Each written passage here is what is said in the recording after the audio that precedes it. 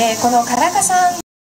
なんですけれども旧富岡村現在の三穂田町富岡になるんだそうですが、えー、富岡では祭り神山王権現がありまして、えー、その夏の祭礼の夜祭りで安藤花火を上げます、えー、この時に演じられるのが、えー、唐笠安藤ということなんですが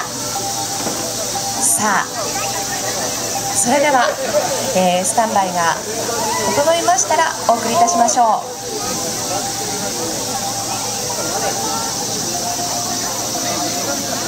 さ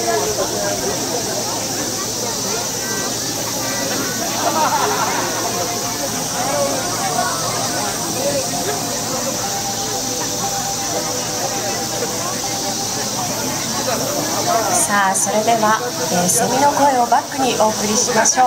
えー、富岡唐笠安藤保存会の皆さんです。それではお願いいたします。